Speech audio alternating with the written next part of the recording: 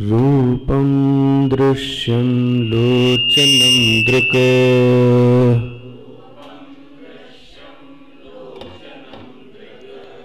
रूपं दृश्यं लोचनं दृक्।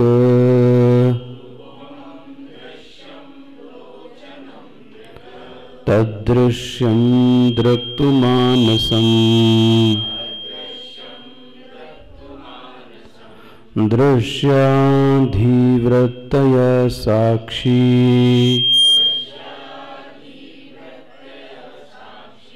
दृगेव न तु दृश्यते। रूपं दृश्यं लोचनं दृक्। रूपं दृश्यं लोचनं दृक्।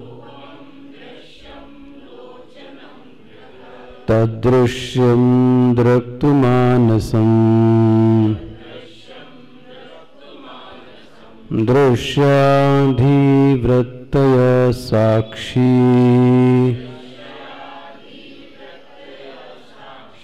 दृगेव न तु दृश्यते। दृगेव न तु दृश्यते। द्रवेव न तु दृश्यते।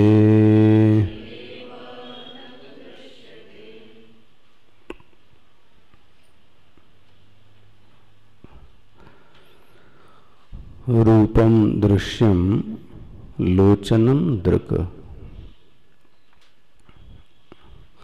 जो भी रूप जगत है उस पूरे के पूरे रूप जगत को दृश्य कोटि की संज्ञा में लाया गया। जैसे मैं कल कह रहा था, एक साधक पूछ रहे थे आप, वेदांत में एक शब्द है उपलक्षणा। उपलक्षणा का अर्थ है कि एक चीज़ को बताया जाए तो अन्य चीज़ों को स्वयं ही क्या कर लिया जाए? ग्रहण कर लिया जाए। ठीक है ना? जैसे कल दृष्टान दे रहा था, पान, कहा गया कि पानी लाओ। तो इसका मतलब ये भी है कि वह व्यक्ति ग्लास लाएगा, ट्रे लेकर आएगा, साफ़ करके लाएगा। ये अपने आप ही इसमें क्या है? इंक्लूड है। मतलब किसी एक को बोला जाए और सभी का ग्रहण कर लिया जाए, इसको क्या कहेंगे? उपलक्षणा। जैसे बोल दिया श्रोत्र आदिनी। गीता में शब्द आता है, श्रोत्र आदिनी। तो इसका मतलब हो गया श्रोत्र, त्वक, चक्षु, रसना, घ्राण, सभी का क्या कर लेना चाहिए? ग्रहण कर लेना चाहिए। तो जैसे ही बोलते हैं रूपम दृश्यम रूपम दृश्यम तो जो रूप जगत है वह सब का सब क्या है? दृश्य है। अब रूप जगत का मतलब क्या हुआ? तो शब्द जगत भी हो गया, रूप जगत भी हो गया, रस जगत भी हो गया, गंध जगत भी हो गया, सब चीज़ें हो गई। लेकिन नाम किसका लिया गया? रूप का। ठीक है? तो रूप जगत का मतलब सिर्फ़ नेत्रेंद्री देखने वाली नहीं रूप जगत का हो गया पाँचों इंद्रियों के जो पाँचों विषय हैं, वो सब के सब क्या हो गए? एक कोटि में आ गए। क्या बोलेंगे? दृश्यम। पाँच विषय और पाँच विषय को एक कोटि में डाल दिया, उसको कह दिया दृश्यम। क्यों कह दिया दृश्यम? जिसकी अनुभूति की जा सकती है, जिसको देखा जा सकता है, जिसको जाना जा सकता है, उसको दृश्य कोटि में कहते हैं। तो पाँचों इंद्रियों के विषय अनुभूत किए जा सकते हैं, जाने जा सकते हैं, इसलिए इनको क्या कह दिया? दृश्यम। स्पष्ट है ना? तो रूपम दृश्यम बोले, यह जो सबके सब हैं, ये सब के सब दृश्य हैं। बोले, फिर तो कोई जानने वाला भी होगा दृश्य। बोले हाँ। लोचनम दृक जो उस विषय की इंद्रिय है, तद तद विषय की तद तद इंद्रियाँ दृष्टा है। जैसे कि रूप की रूप की दृष्टा कौन हुई? नेत्र। तो शब्द का दृष्टा कौन हो गया? कौन ठीक है? तो रस का दृष्टा कौन हो गया? जीवा। तो गंध का दृष्टा कौन हो गया? ना, स्पर्श का दृष्टा कौन हो गया? त्वचा। तो विषय दृश्य हैं और इंद्रियाँ दृष्टा हैं। ठीक हो गया, कल इतना ये जितने सब प्रवचन थे, समझ में आ गया। एक बात कही थी, इंद्रियाँ, यह इंद्रियाँ नहीं है, इनको क्या कहते हैं? गोलक। इनको नहीं कहते, यह तो इंद्रियों के बैठने का स्थान है, इसलिए वेदांत में इनको बोलते हैं गोलक। और आप इंग्लिश में कहें तो इसको बोल दें काउंटर। ये सब इसके काउंटर हैं। महाराज, इन इंद्रियों का नाश भी नहीं हो सकता। मरणोपरांत भी ये इंद्रियाँ यहाँ से क्या हो गई? चली गई। ठीक है? आखिर अंधे व्यक्ति के भी नेत्र है। तो अब क्या कहेंगे? उसकी व्याख्या क्या कहेंगे? अंधे व्यक्ति के पास नेत्र है मतलब क्या हुआ? अंधे व्यक्ति के पास गोलक है, नेत्रेंद्रिय नहीं है। बन गया? भाई, जिसको महक नहीं आती, ठीक है ना? तो नाक तो उसके पास में भी है।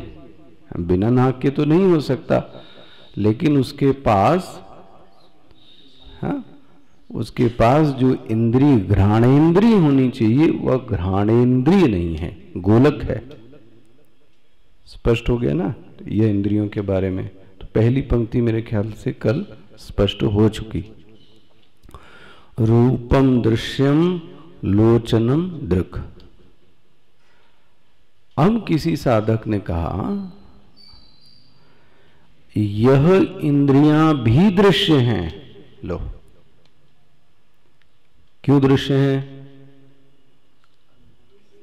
तर्क क्या होगा? क्यों दृश्य कह दिया? क्योंकि इनको भी जाना जाता है। इनका भी अनुभव आता है।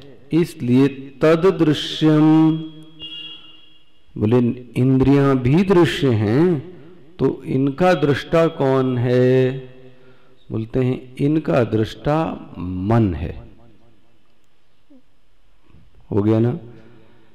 रूप का दृष्टा नेत्र हो गया तो फिर नेत्र का दृष्टा कौन हो गया? मन। अच्छा बोले, मन किसको कहते हैं?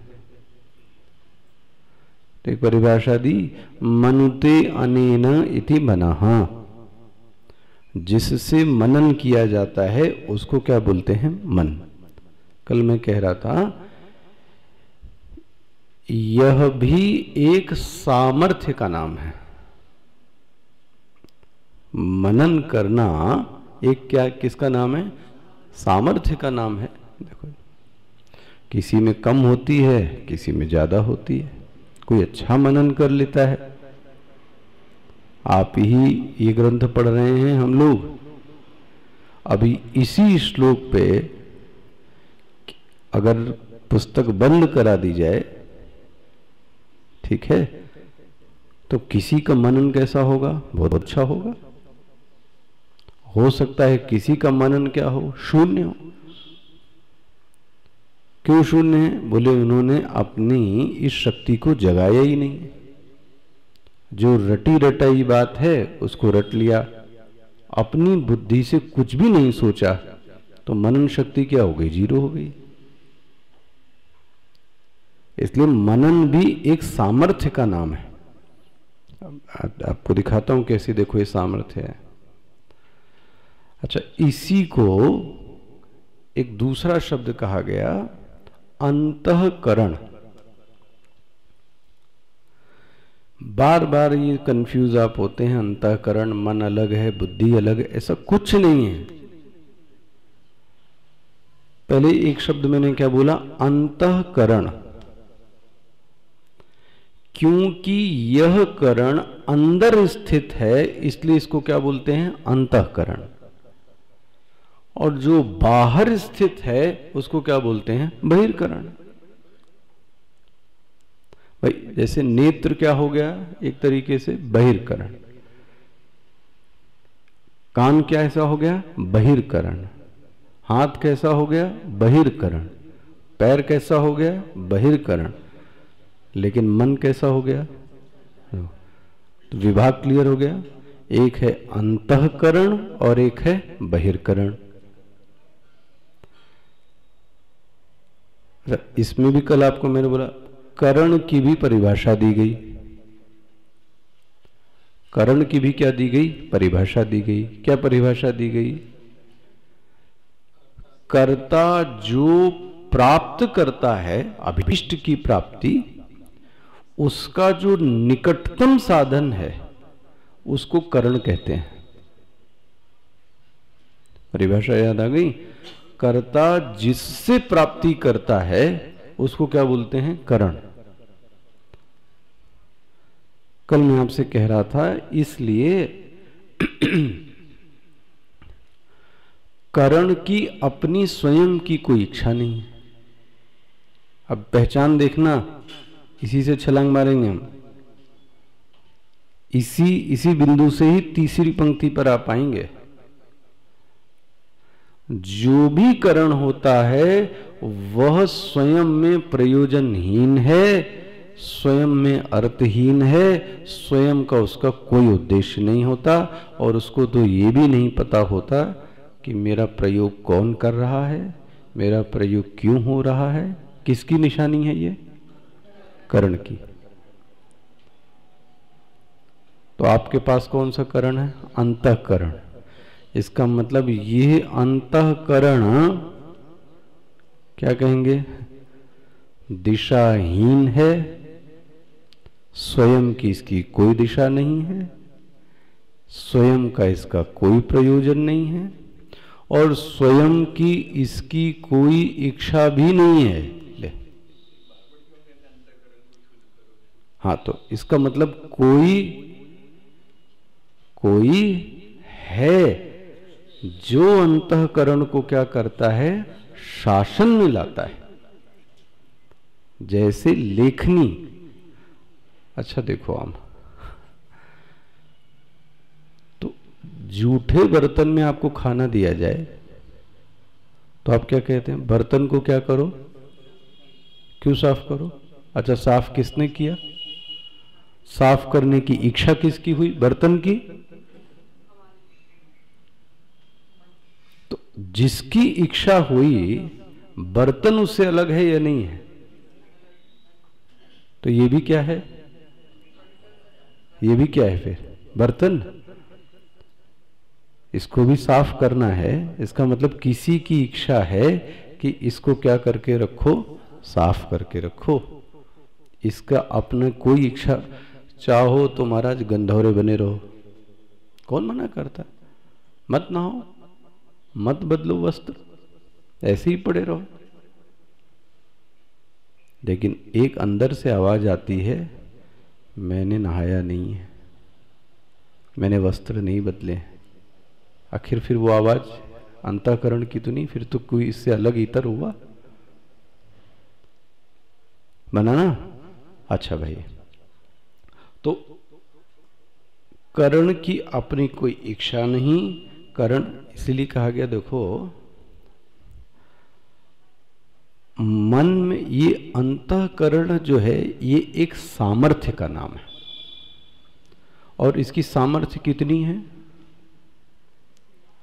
कितनी सामर्थ्य है इसकी? अनगिनत सामर्थ्य मन की जो इंद्रियों की नहीं बोला मैंने इतनी।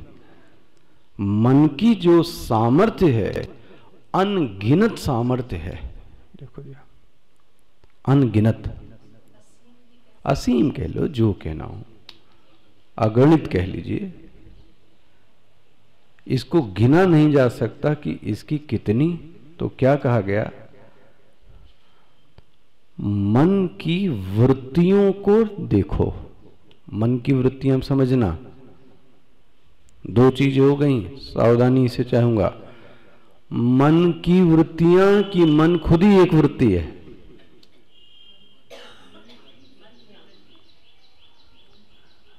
घबराइएगा नहीं, लेकिन यहीं पे खूब मनन कीजिए। अंतकरण की वृत्तियाँ की अंतकरण स्वयं वृत्ति है? हाँ? तो अंतकरण की वृत्तियाँ मतलब अंतकरण कुछ और हुआ। बना? और उसकी वृत्तियाँ कुछ? ऐसा नहीं है। बना? अंतकरण स्वयं ही एक वृत्ति का नाम है। इसलिए कल एक शब्द में बोला था, उसको अच्छे से पढ़ने वेदांत में कहा जाता है। वृत्ति का अर्थ है वर्तनात् वृत्ति ही। ये वृत्ति शब्द प्रयोग करते हैं, इसको अच्छे से समझिए। वर्तन करने को वृत्ति कहते हैं। वर्तन करने को वृत्ति कहते हैं। बोले, महाराज, ये वर्तन मतलब क्या हुआ? व्यवहार करने को वर्तन कहते हैं। जो अंतकरण है, उसके अनेक व्यवहार हैं। लेकिन उन व्यवहारों को जब कैटेगराइज किया गया तो कहा गया, इसमें चार प्रकार की वृत्तियाँ हैं। अच्छे से इस बात को खूब समझ लीजिए। जब आपकी सामर्थ्य जब आपकी सामर्थ्य ये कहती है कि मैं कक्षा में जाऊँ, कि मैं कक्षा में न जाऊँ। बन गया? जैसे ही ये सामर्थ्य का उदय हुआ, किस सामर्थ्य का? कक्षा में जाऊँ कि कक्षा में न जाऊँ। तो आप समझ लो, इस वृत्ति का नाम, हा, मन है। बन गया। इसी वृत्ति का नाम मन है। लेकिन क्या वृत्ति उठी? अरे, मुझे तो जाना ही है। ले। इसने ऑप्शंस नहीं क्रिएट किए। मुझे तो जाना ही है। अब ये वृत्ति क्या बन गई? बुद्धि। और आपने जो पढ़ा, वो कहीं ना कहीं क्या हो रहा है? सेव हो रहा है। वो क्या बन गया? चित्त। यही आपने तत्वबोध में पढ़ा।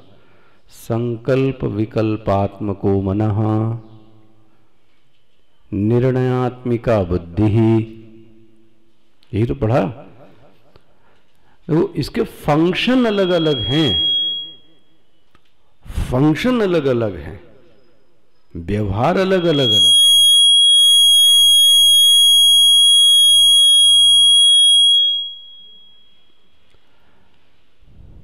तो एक अंतकरण के चार व्यवहार हो गए।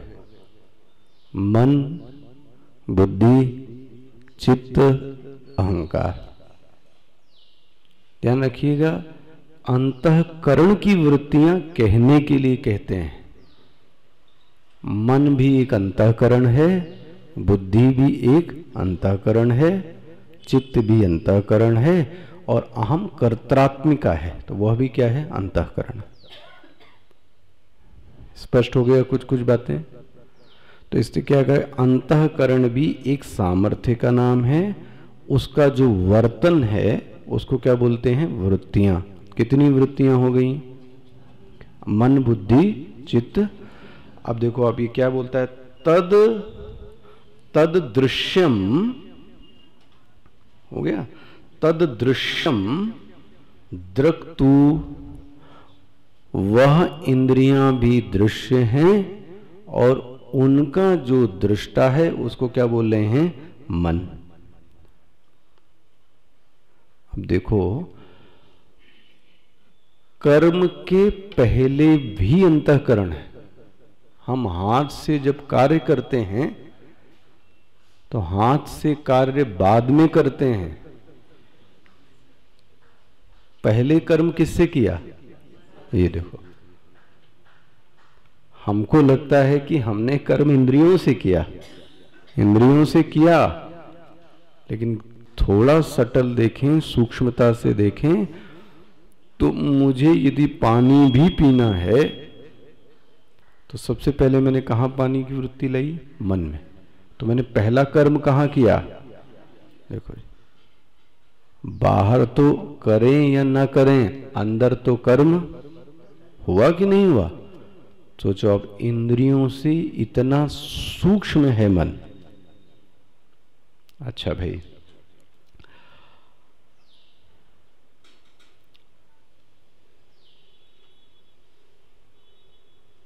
मन इंद्रियों से दिखाई नहीं देता। इसका क्या बोलते हैं? बायोडाटा समझ लो अच्छे से आप। मन को इंद्रियों के ज़रिए से नहीं जाना जा सकता।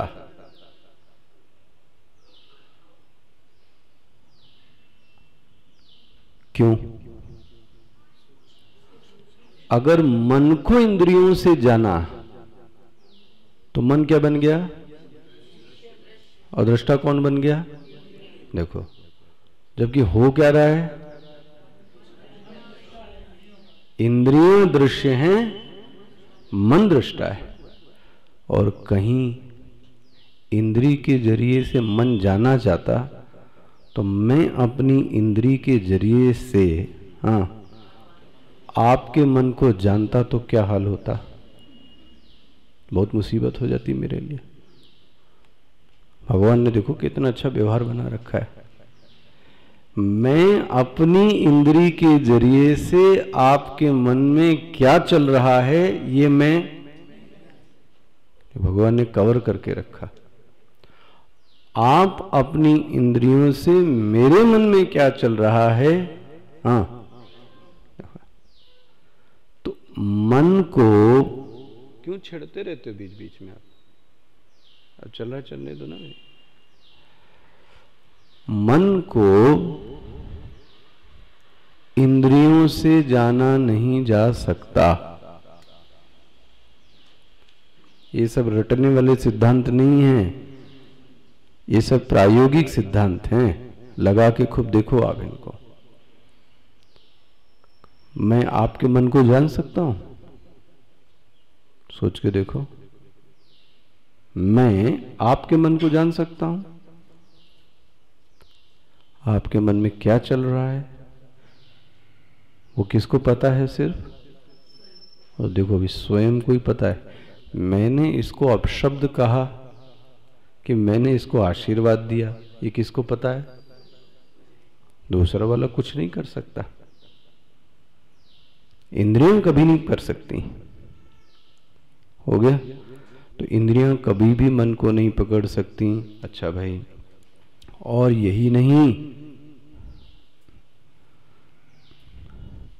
ये वृत्तियाँ, यह मन, ये आवर्तन, महाराज, दिन भर चलता है।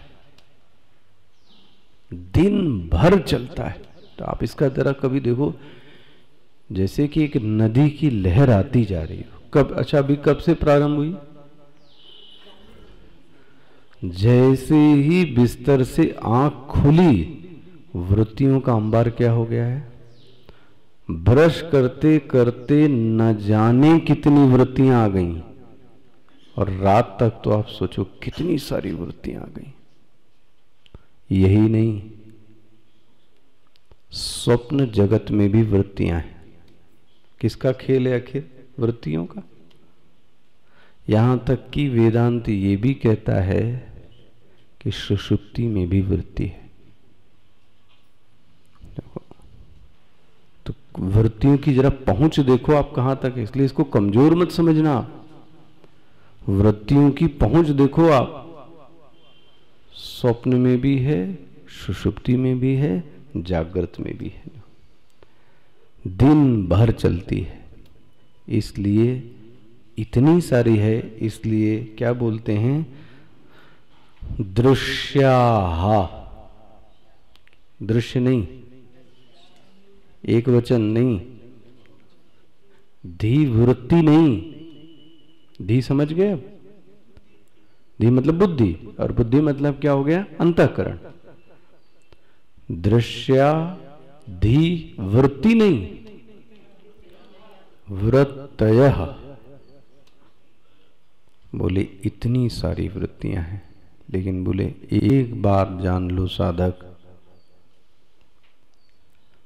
यह तुमको पता लगता है कि नहीं कि मैं अपनी वृत्ति को जानता हूँ?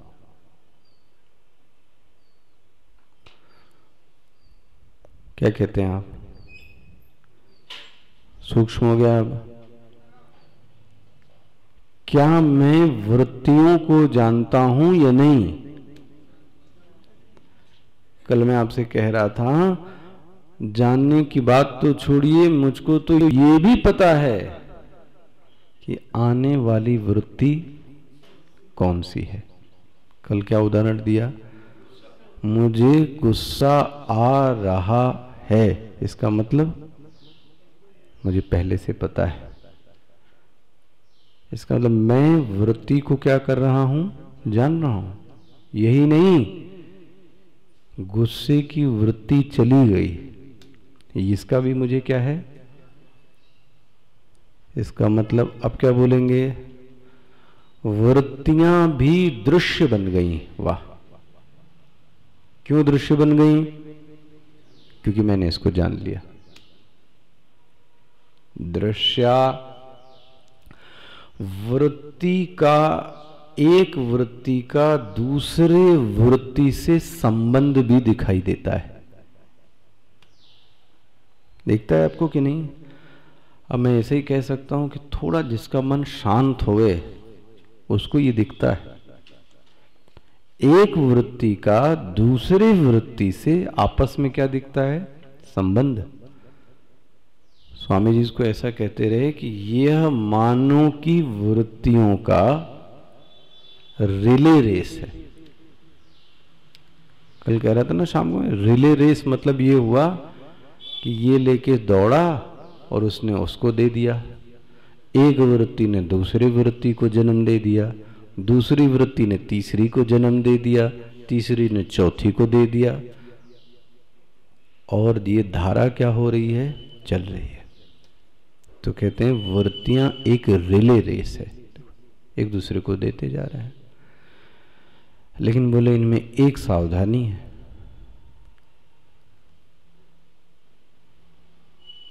रूप को जाना इंद्री ने। हो गया? इंद्रियों को जाना अंतकरण ने। बोले, इन वृत्तियों का उदय होता है, इन वृत्तियों का अस्त होता है, यह भी मुझे पता लगता है। बोले, इससे यह नियम लग, इससे यह नियम सिद्ध हो गया, जो धी वृत्ति हैं, वो क्या हैं? दृश्याहा। दृश्याहा धी वृत्ति भी क्या है? दृश्य है। तो बोले, यदि ये दृश्य हैं तो इनका दृष्टा कौन? इनका दृष्टा कौन? आ गया। दृश्या, तीसरी पंक्ति। हो गया ना? पूरा स्पष्ट हो गया? दृश्या धीवृत्तय बोले, ये तो ये भी दृश्य बन गई।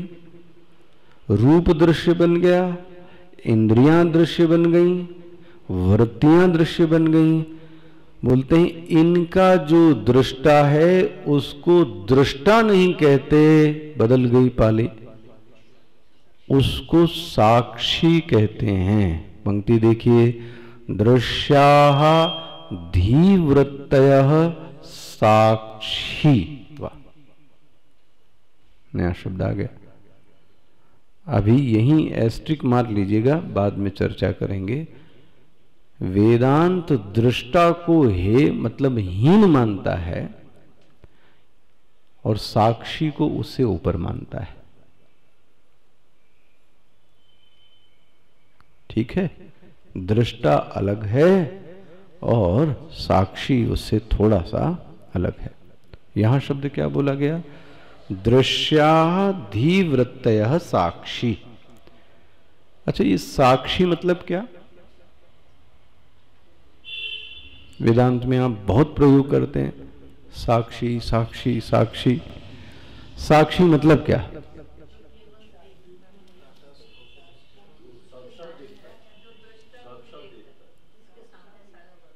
हाँ? नेत्र के सामने हो रहे सब कार्य। मन को क्यों ना माने?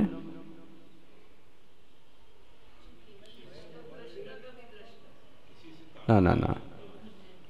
वो तो ब्रह्म है।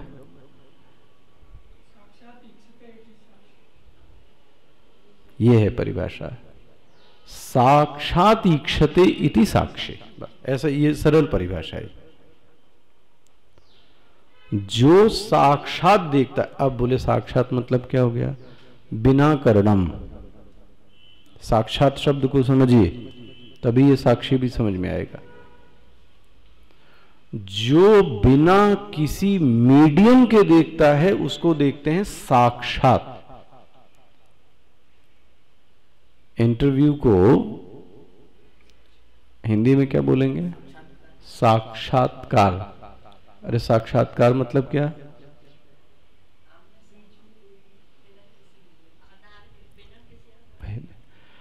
बिना किसी के बीच बिचौलिए के बगैर डेस्क के इस पार आप और डेस्क के इस पार हम। बिचौलिया कोई नहीं है। इसको क्या बोलेंगे? साक्षात। यहाँ शब्द क्या प्रयोग किया गया है? साक्षी। घोट लीजिए शब्द। जो साक्षात देखता है, उसको साक्षी कहते हैं। साक्षात का अर्थ हो गया, जो बिना करण के देखता है, उसको क्या बोलते हैं? साक्षी। बोले बिना करण के मतलब? भला, इस इस पुष्प को मैंने देखा। कैसे देखा? किससे देखा? हाँ? आँख से। मैं इस पुष्प को यहाँ ले आऊँ।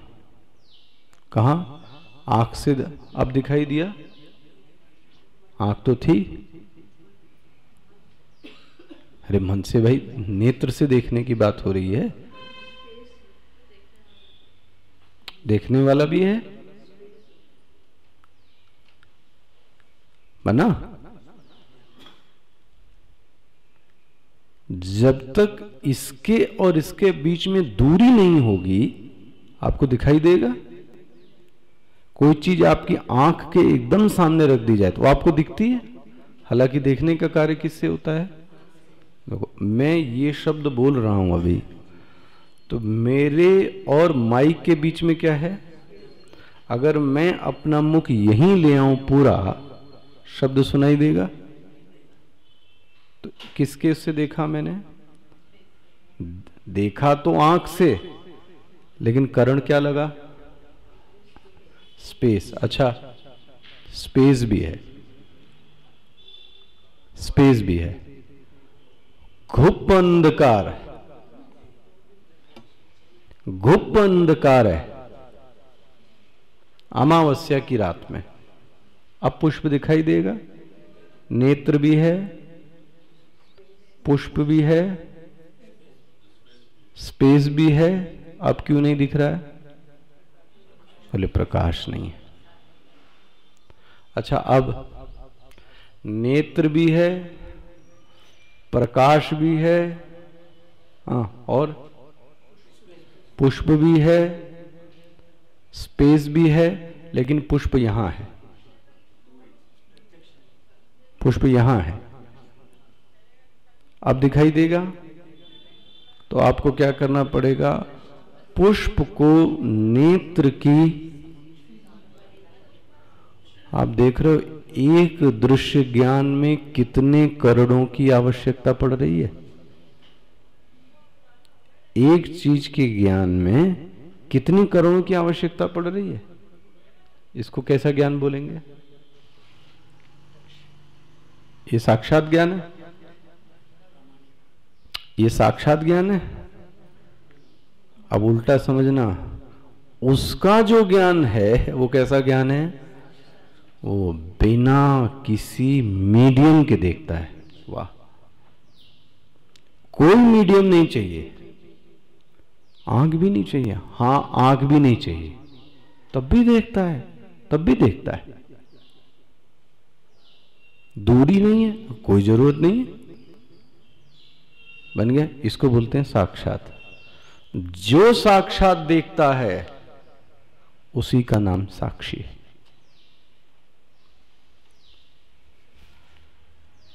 कुछ रह जाता है, रूप का दृष्टा नेत्र। तो रूप मतलब विषय का दृष्टा इंद्रिय। इंद्री का दृष्टा अंतकरण। और अंतकरण का दृष्टा साक्षी। तीसरी पंक्ति आ गई है। दृश्या तु धीव्रतय साक्षी। देखो जी। मिला बोले महाराज, ये साक्षी को भी कोई देखता है? देखो, अब उसने डर के पूछा। साक्षी को भी कोई देखता है? चौथी पंक्ति देखिए। द्रग द्रग नहीं लिखा। बहुत सावधानी के, के। पहली पंक्ति में लोचन के आगे क्या था? लोचन के आगे क्या है? द्रग। अच्छा यहाँ क्या है? एव। द्रगेव साक्षी का कोई भी दृष्टा नहीं है। दृक एव। वह जो साक्षी है, वह दृक मात्र है, सावधानी से। दृक मात्र है। उसका कोई दृष्टा नहीं है। और बोले, नहीं समझ में आता? तो ऐसा समझ लो। न तो दृश्यते। न तो दृश्यते।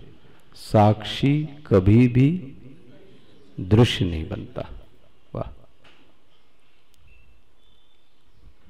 बहुत जल्दी जल्दी है ये जो आपने दृष्टा दृश्य विवेक किया, ये विवेक किया, इसके अभी चार नियम बने वो नियम आपको याद हो जाने चाहिए। मैं बोल रहा हूँ, गांठ बाँध लीजिएगा। उसी से फिर इन श्लोकों को देखना है, पहली पंक्ति को। उन नियमों के आधार पर। पहला। दृष्टा और दृश्य दोनों अलग अलग होने चाहिए, पहला सिद्धांत। मैं पूरे को कन्फाइन कर रहा हूँ इन चार फॉर्मूले में, और हर पंक्ति में ये चारों फॉर्मूले लगने चाहिए। दृष्टा और दृश्य दोनों अलग अलग होने चाहिए। अलग अलग होते हैं। ठीक है, पहला। दूसरा। दृश्य अपने दृष्टा का दृष्टा कभी नहीं हो सकता। दृश्य अपने दृष्टा का दृष्टा कभी नहीं हो सकता। ठीक है? तीसरा, दृश्य स्वयं का दृष्टा नहीं हो सकता। दृश्य स्वयं का दृष्टा नहीं हो सकता। और चौथा, आखिरी, दृष्टा स्वयं का दृश्य नहीं हो सकता। बस, इतने चार नियम हैं। मैं इनको रिपीट कर रहा हूँ, फिर से देखिएगा। और इसको पंक्ति को लगाना है इसमें। पहला, दृष्टा और दृश्य दोनों अलग अलग होते हैं। ठीक है? दूसरा, जो दृश्य का दृश्य अपने दृष्टा का दृष्टा नहीं हो सकता। तीसरा नियम, दृश्य स्वयं का दृष्टा नहीं हो सकता। चौथा, दृष्टा स्वयं का दृश्य नहीं हो सकता। चार नियम है। इसीलिए इसको ऐसा कहते हैं शास्त्र से त्रिविधा प्रवृत्ति। ही सूत्र जान लीजिए। शास्त्र अपनी जो प्रवृत्ति करता है, अपने को खोलता है, वो तीन तरीके से खोलता है। मतलब इस साधक को तीनों काम आने चाहिए। शास्त्र से त्रिविधा प्रवृत्ति, क्या चीज़ है? उद्देश्य, लक्षणा, परीक्षा च। पहले वो उद्देश्य बताएगा, उसके लक्षण बताएगा, और फिर उसकी क्या कर लो आप, परीक्षा। ये शास्त्र को पढ़ने का नियम है। शास्त्र से त्रिविधा प्रवृत्ति, उद्देश्य उद्देश्य बता दिया आपको? लक्षणा, लक्षण आपको बता दिए। अब आपको क्या करनी है? परीक्षा। उस पर जाकर क्या कीजिए? परीक्षा कीजिए। चलिए, परीक्षा प्रारंभ कीजिए। रूप का दृष्टा कौन था? नेत्र। पहला नियम। इस इस पर ही चारों नियम अप्लाई करने रूप का दृष्टा कौन था? नेत्र। पहला तो रूप का दृष्टा नेत्र है तो रूप अलग हो गया और नेत्र, पहला नियम हो गया, टिक लग गया। ठीक है ना? रूप अलग है हाँ और दृष्टा नेत्र अलग है। दूसरा दूसरा नियम क्या था? दृश्य अपने दृष्टा का दृष्टा तो रूप क्या हो गया? दृश्य। और लोचन क्या हो गया? तो रूप का दृष्टा कौन हो गया? तो वह कभी भी स्वयं का दृष्टा, रूप का जो दृष्टा है, वह कौन है? नेत्र। नेत्र तो रू, नेत्र का दृष्टा कभी अब दूसरा रूप नहीं बन सकता। मैं जल्दी जल्दी कर रहा हूँ थोड़ा। तीसरा, जल्दी आइए। दृश्य स्वयं का दृष्टा नहीं हो सकता। दृष्ट, दृश्य स्वयं का दृष्टा नहीं हो सकता। अगर दृश्य का स्वयं ही दृष्टा हो गया तो वो क्या रह गया फिर? तो वो दृष्टा बन गया। तो रूप दृश्य है तो उसका जो दृष्टा है वो कौन है? नेत्र। तो दृश्य स्वयं का दृष्टा अच्छा चौथा दृष्टा स्वयं का बोलिए जी तो नेत्र स्वयं के लिए क्या बन जाए, दृश्य बन जाए, ऐसा कभी नेत्र क्या बन गया है? दृष्टा। चारों पे हो गया, दूसरे पे आ जाइए। इंद्री को किसने जाना? तो इंद्री कैसी हो गई, अलग। और मन कैसा हो गया? हो गया? इंद्री हो गई दृश्य और दृष्टा कौन हो गया? अंतकरण। दूसरा नियम, दृश्य अपने दृष्टा का दृष्टा नहीं हो सकता। इंद्री दृश्य हो गई, अंतकरण दृष्टा हो गया तो दृष्टा का दृष्टा कभी भी दृश्य नहीं बन सकता। अच्छा तीसरा, दृश्य स्वयं कभी भी दृष्टा तो कौन दृश्य बना? नेत्रेंद्री तो ने, नेत्रेंद्री मतलब इंद्रियाँ समझना। इंद्रियाँ कभी भी स्वयं का दृश्य और चौथा इंद्री का दृष्टा कौन बना है? अंतकरण। अंतकरण कभी भी स्वयं का दूसरे का बन सकता है। साक्षी की तुलना में अंतकरण दृश्य है। लेकिन अंतकरण स्वयं में अपने आप दृश्य क्योंकि वो क्या बन गया? ठीक है ना? ये चार नियम हैं, इनको खूब कसना चाहिए। अच्छा अब आपके मनन के लिए कह रहा हूँ। अब इसी में बहुत सारी चीज़ें आई देखो, चौथा मनन के लिए कह रहा हूँ। ये जो तीसरी पंक्ति आई, अंतकरण किसको जानता है? अंतकरण का साक्षी कौन हो गया? मन। अब महाराज, इस पे बड़ी चर्चा छिड़ गई। पे चर्चा आज सिर्फ़ आपको बता देता हूँ।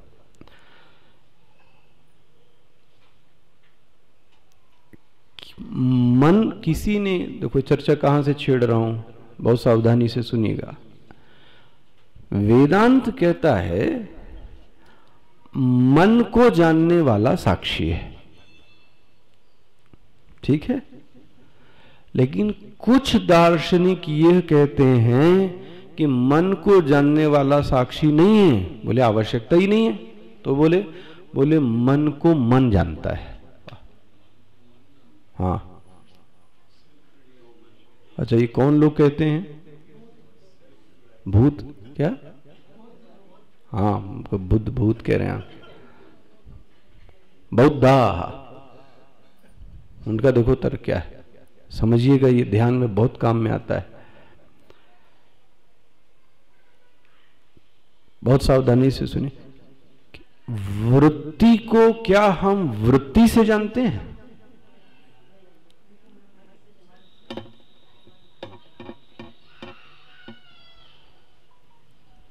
ये प्रश्न है। सब चीज़ किनारे रख दो अब आपके मन में जो वृत्ति आ रही है वृत्ति का वृत्ति से संबंध है, वो मना ही नहीं है। लेकिन वृत्ति को क्या हम दूसरी वृत्ति से जानते हैं? अच्छा जानते हैं। मान तो फिर उस वृत्ति को किस वृत्ति से जानेंगे? तो तीसरी से। तो तीसरी वृत्ति को किससे जानेंगे? ये समझ में इस दोष को क्या कहेंगे? अनवस्था दोष। ये बौद्धों का मत है। और ये ध्यान में साधक को देखना चाहिए। यह जो वृत्ति का ज्ञान है, वो आखिर किससे? कई लोग बोलते हैं, वृत्ति दूसरे वृत्ति को जानती है। वृत्ति दूसरे वृत्ति को जानती है। उसमें बोले, क्या दिक्कत है? तर्क समझ में आ रहा है उनका? क्या है? ये तर्क समझ में आया क्या कह रहे हैं?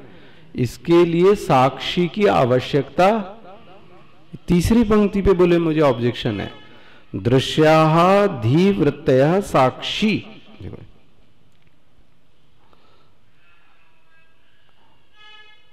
दृश्य अंतकरण की वृत्ति के लिए साक्षी की आवश्यकता नहीं है। बोले, क्यों नहीं है? बोले, एक वृत्ति दूसरे वृत्ति को जानती है। ज़रूरत क्या है साक्षी की? कैसे इस दोष को निवृत्त करेंगे? ठीक है, वो उनको इससे मतलब नहीं है। तो दूसरी वृत्ति, और वृत्ति में जड़ और चेतन दोनों होता है। चित जड़ तो चित जड़ तो इसका मतलब आधा हिस्सा कैसा है? चेतन है, और आधा हिस्सा तो दूसरा चेतन उस आदि वृत्ति को प्रकाशित करता है। ये इस दर्शन का मत है, इसीलिए मैं कह रहा था, इस देखो, है एक ही श्लोक। लेकिन अगर आप मनन करें, दर्शन किससे देखें तो बहुत सारा इसमें भरा पड़ा है। तो वृत्ति दूसरे वृत्ति को जानती है। अच्छा अब इसको मैं आपके सामने रखता हूँ। हाँ? हाँ मैं कोशिश करता हूँ आपके सामने।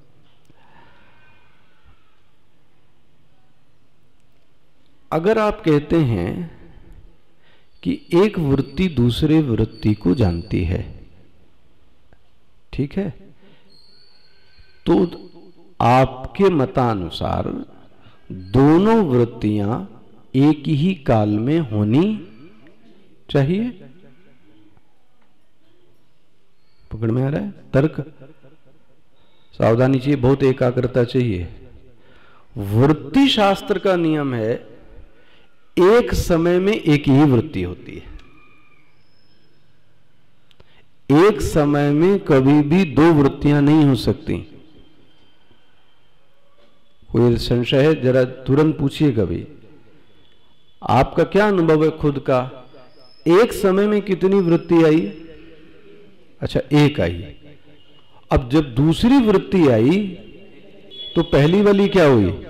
गई। गई। अच्छा अभी अभी जो दूसरी आई थी,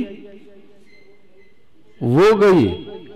तो एक ही काल में, बोलिए ना, एक ही वृत्ति होती है। जबकि जबकि अगर दृष्टा को, दृश्य को जानना है तो उनको एक ही काल में युगपत होना चाहिए। अगर एक वृत्ति को दूसरी वृत्ति को जानना है तो उस जानने वाली वृत्ति को और जिसको जानी जा रही है, वह दोनों वृत्ति एक ही काल में होनी, यह दृष्टा और दृश्य का नियम है। मैं यदि इस पुष्प को जान रहा हूँ तो मैं इसी काल में मैं भी दृष्टा हूँ और उसी काल में ये भी क्या है ये? तभी तो मैं जान सकता हूँ। और आप क्या बोल रहे हैं? आप क्या बोल रहे हैं? एक वृत्ति दूसरे वृत्ति। तो वृत्तियों तो वृत्ति कभी युगपत में तो होती ही नहीं है। ज्ञान के लिए, सरल कर रहा हूँ, ज्ञान के लिए दृष्टा और दृश्य को एक ही समय में होना चाहिए। जिसको नहीं समझ में आया, हाथ खड़ा करे। जानने के लिए, अभी मैं आपको जान रहा हूँ तो मुझे भी इसी समय होना चाहिए और आपको भी। तभी तो मैं आपको जानूँगा। वृत्ति एक आई और एक क्या हो गई? चली गई। इसका मतलब वृत्ति, युगपत, काल, युगपत समझते हैं? दोनों एक साथ। दो वृत्तियाँ कभी एक काल में नहीं हो सकती। और महाराज, मान लो, वृत्तियाँ मान लो, आपके इस ब्रह्मांड में, इस खोपड़े में, हज़ार वृत्तियाँ एक साथ उठ गई। तो क्या हाल होगा, आप सोचो। सोच के देखो। जरा सा भी कुछ ओवरलैपिंग हो जाती है ना तो व्यक्ति के पसीने आ जाते हैं। ओवरलैपिंग होती तो मैं कह रहा हूँ। और एक साथ आ गई तो क्या होगा, सोचो आप। ये वेदांत देखो आप, क्या कहता है, वृत्तियाँ कभी भी युगपत नहीं होती। हिंदी समझिए, युगपत मतलब दोनों एक साथ। एक काल में एक वृत्ति। अगर वृत्ति दृष्टा है और अपनी ही दूसरी वृत्ति को जानती है तो दोनों को क्या होना पड़ेगा? और ऐसा तो नियम दिखता नहीं है। ठीक है? इसलिए वृत्ति दूसरे वृत्ति को तो फिर किस, फिर वृत्ति को कौन जानता है? बोले, जो भी जानता है वह वृत्ति से इतर है वह वृत्ति के काल में भी है यही नहीं वृत्ति डूब गई तब भी वो है। और वृत्ति का उदय नहीं हुआ तब भी वो है। और वह वृत्ति से वह तो वृत्ति को जानता है। आहा, उसको वृत्ति नहीं जानती। दृगेव न तो दृश्यते, वह कभी दृश्य नहीं बनता। बोला, इसका नाम क्या है? इसी को साक्षी कहते हैं। एक चीज़ और देखिएगा। कभी कभी लोग बड़े साहित्यिक भाषा में लिख देते हैं। स्वामी जी ने ऐसा समझाया था एक बार। स्वयं स्वयं वेद्य। ऐसा आपने पढ़ा होगा। स्वयं सिद्ध नहीं। स्वयं वेद्य स्वयं वेद्य। ये वेदांत का शब्द नहीं है। कोई चीज़ अपने आप को कैसे जान सकता है? स्वयं वेद्य। दृष्टा और दृश्य तो दोनों क्या होंगे? यह वेदांत का शब्द नहीं है, स्वयं वेद्य। वेदांत का शब्द क्या है? स्वयं प्रकाश। स्वयं वेद्य शब्द नहीं। वेद्य शब्द आ गया तो क्या हो गया? जानना। और जानना हो गया तो कितने लोग होंगे? दो लोग होंगे। इसलिए वेदांत कभी भी स्वयं वे, और जब भी कोई ऐसा ट्रांसलेशन करे तो आप जान लीजिए कि इस व्यक्ति को वेदांत की अभी ए बी सी डी भी ठीक से पता नहीं है। क्योंकि वेद्य शब्द आने से ही विद क्रिया विद क्रिया मतलब जानना, और जानना मतलब दो लोग हो गए, दृष्टा अलग हो गए, और दृश्य तो स्वयं वेद्य शब्द कहाँ बन गया? तो वेदांत शब्द क्या प्रयोग करता है? स्वयं प्रकाश। ध्यान रखिएगा, प्रकाश्य नहीं, स्वयं प्रकाश। स्वयं प्रकाश। तो द्रगेव, श्लोक पे आ जाइए। द्रग एव, कौन द्रगेव? वही साक्षी। दृश्या तू वृत्तया साक्षी।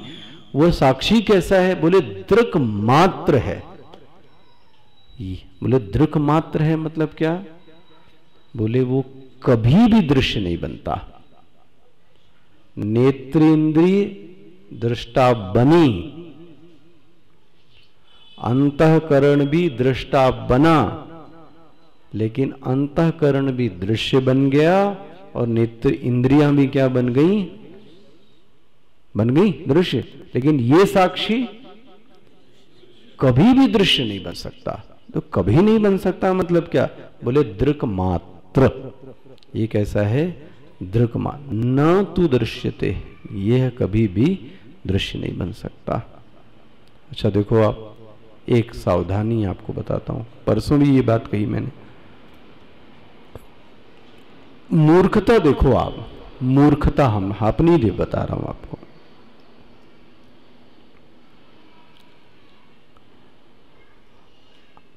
हम ध्यान में किसको देखना चाहते हैं? किसको देखना चाहते हैं? साक्षी। अगर हम साक्षी को देखना चाहते हैं मतलब क्या हुआ? साक्षी को दृश्य बनाना और दृगेव न तो दृश्यते ये अच्छे अच्छे साधक भी वो ध्यान के माध्यम से, इंद्रियों के माध्यम से उस साक्षी को पकड़ना चाहते हैं, जो कि साक्षी कभी भी दृश्य बन नहीं सकता। किसी भी क्रिया से उस साक्षी को पकड़ नहीं सकते। और हर साधक किस ओढ़ में लगा है कि हम साक्षी को क्या बना दें? दृश्य बना दें। और अगर वो दृश्य बन गया, हो हो हो हो, तब समझना कि वह साक्षी, क्योंकि साक्षी कभी भी दृश्य तो अनुभूति क्या आएगी पता है? बहुत जल्दबाजी मेरे बोलने में। मुझे साक्षी को पकड़ना नहीं है। हाँ। जानोगे तो भी पकड़ लिया। जानना मतलब क्या? तो अनुभूति क्या आएगी? तो क्या करें फिर इसका? मैं स्वयं साक्षी हूँ। अंतराया देखना। पकड़ोगे तो दृश्य बनेगी। मैं खुद स्वयं साक्षी हूँ। तो आप कहाँ पकड़ने चलोगे? तब तो आप बन गए फिर। और अगर आपने ध्यान से किसी को पकड़ने की कोशिश की तो आप इतना ही समझें कि उसको वृत्तियों के माध्यम से आप क्या करना चाह रहे हैं? कैद करना। और वो जीवन भर कभी भी कैद में और साधक यही कहता है कि मेरे मेरे ध्यान में कुछ नहीं होता है, कभी कुछ हुआ ही नहीं। और होगा कैसे भाई? जिस दिन आपको ये ज्ञान हो गया, मैं खुद साक्षी हूँ। तो तो बात बन जाएगी।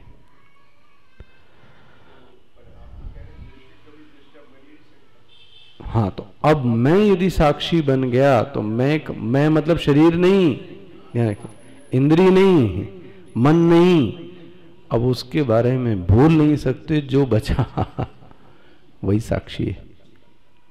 मैं मतलब मैं शरीर नहीं मैं इंद्री नहीं, मैं मन नहीं, अब जो बचा। क्योंकि उसको बोलेंगे क्या? फिर अगर बोल दिया तो फिर से आपने शब्दों से ही उसको क्या कर दिया? और जैसे ही आपने शब्दों से पकड़ा, ध्यान रखिए, वो आपसे फिसल गया। पकड़ने चलेंगे तो कभी नहीं पकड़ पाएँगे। वो है ही नहीं। तो ये हो क्या रहा है माता जी है ही नहीं। बस आप उसको स्वयं अनुभूत कर सकती हैं, शब्दों के माध्यम से बोल। मैंने कभी आपको दृष्टांत दिया होगा। दो दृष्टांत देता हूँ। है इसमें पाँच में शकर कितनी मीठी लगी? बोल सकती है? बोल के दिखाइए। अच्छा नहीं बोल सकती, इसका मतलब आपने शकर की अनुभूति नहीं की क्या? नहीं की क्या? बोले, की है। लेकिन बोल नहीं, यही वेदांत है। अनुभूति की है, लेकिन जिस दिन उस अनुभूति को शब्दों में पकड़ के लाएँगे तो आप उससे फिर से क्या हो गए? फिसल गए। इसीलिए तुलसीदास जी बोलते हैं, लाख शारदा, लाखों सरस्वती जी आ जाएँ, लेकिन उसका बखान नहीं कर सकते। इसका मतलब ये नहीं है कि मैंने उसको अनुभूति दूसरा, मैं जिससे भी आप प्रेम करते हो, पति से, पत्नी से, बच्चे से, जो भी आपका, उससे कितना प्रेम करते हैं? तो आप क्या बोलेंगे? अच्छा बोल के दिखाओ आप। प्रेम कितना करते हैं, ये बोल के बताइए। क्या कहेंगे? हाँ? तो इसका मतलब आप बोल नहीं रही हैं तो इसका मतलब आप करती भी नहीं है।